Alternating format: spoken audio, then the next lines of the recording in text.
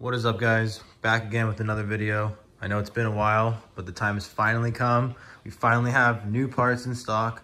As you can see by the thumbnail, we got new Forge products, new intercooler, new charge pipes. I'm super excited to bring this to you guys. I think this is gonna be the first uh, ever on YouTube of the actual Veloster N spec of this intercooler. So I'm super, super excited to share this with you guys.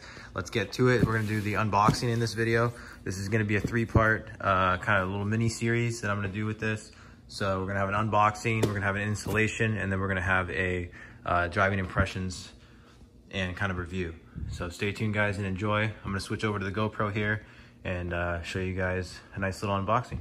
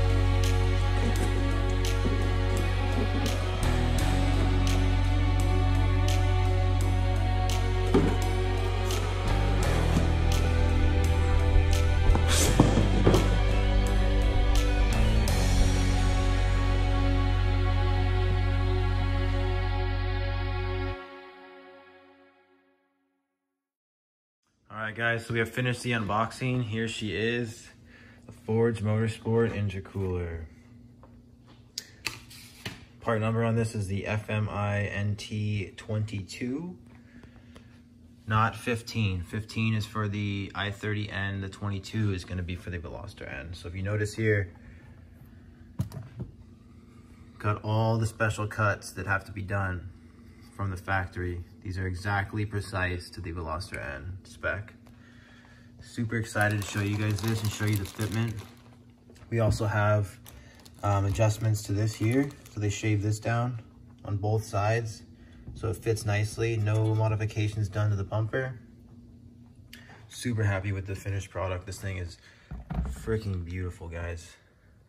Got the Forge logo. I mean, this thing, it's hard to tell on camera how big this thing actually is. Like it's, it's huge. It doesn't look that big on the website. I mean, this thing is, this thing's massive. This is basically like the stock intercooler here, just this piece in the back and how, how, how short it is.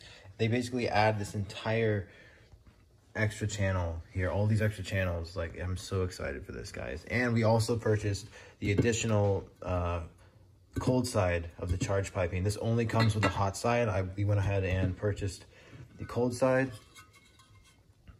And also there is a very, very nice um, addition here. This little guy here is very special because down the road, if I want to do anything in terms of meth injection or um, nitrous or even any kind of like boost gauges, if you want to do like an AEM boost gauge, for intake air temps, or you want to do, you know, just traditional PSI gauge, um, that's basically what that's for. So another reason why I went with Forge. Super, super stoked on this, guys. Hope you guys are excited as I am. I'm going to have the install video up soon, very, very soon.